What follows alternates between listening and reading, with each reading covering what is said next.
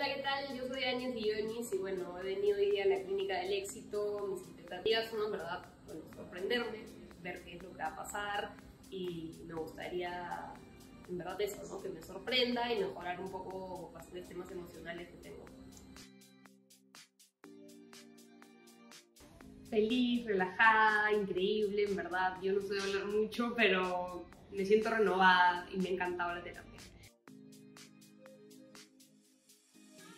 Eh, bueno, el renacimiento es mi favorito porque liberas todo y me encantó pegarle al muñeco.